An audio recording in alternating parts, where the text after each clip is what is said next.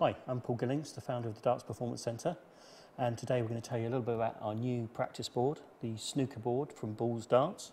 Um, it comes in the box here, you've got the instructions on the back, uh, but you don't need to worry about those because I'm going to explain how the game works. Also comes with everything you need to get the board set up. You've got your hook and your screw for the back of the dart board. Okay, I've got Andy here today to demonstrate how this snooker board uh, works. He's going to throw some darts and I'm just going to talk you through the scenario as it unfolds. So Andy's going to throw, he's obviously going to go for a red to start with, just as you do in a game of snooker. That's just narrowly missed. He's now hit the red, so now he goes for one of the colours on the board. And he's hit the black. So we mark the, the, ball, the ball that he's hit, that's now out of the game. Andy's break is on eight, and as he hit with his third dart, as his third dart was successful, his break continues.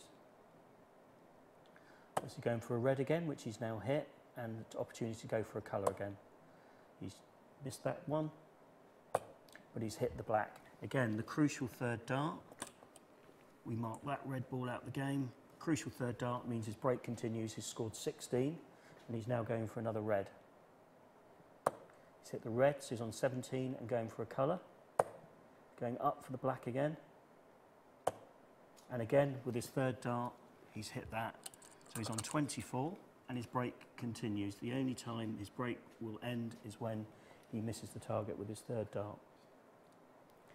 Okay, another great aspect of the game, just like in snooker, you can snooker your opponent. So if the game's closing out, you're, you're, there's not enough points left on the board to win the match, you can nominate to throw a snooker. So, Andy, would you like to nominate to throw for a snooker? Oh, nominate to throw for a snooker. Okay, so Andy's got to hit the red ball in the band here, and then if he does, I'll explain what happens after that.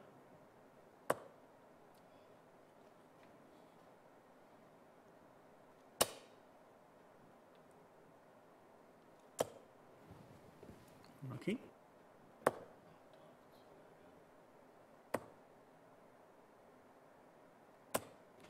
Okay, so Andy was successful in hitting the snooker, so it's his opponent's turn now.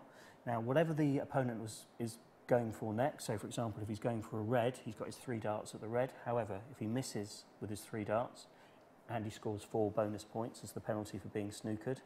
Same, four points if the opponent's going for the yellow, brown or the green. Um, if he's going for the blue and misses with his three darts, Andy gets five bonus points. Pink, six, black, seven. Exactly the same as in snooker, works on our snooker dartboard. Darts Performance Centre was set up to try and help dart players play better darts. All our products in our shop reflect that. Reasons we like this board is something a bit different. Perhaps you may be getting a bit fed up with same old 501. Perhaps it'll give you the inspiration to get off the sofa and, and, and throw some darts. Uh, we like the fact that you've got some tight targets here. Obviously, some of these circles are in the double top, the treble 20. We've got the bullseye there, so you're, you're building your muscle memory as well. Um, so overall, it's a great product, great fun and you can buy it in our shop.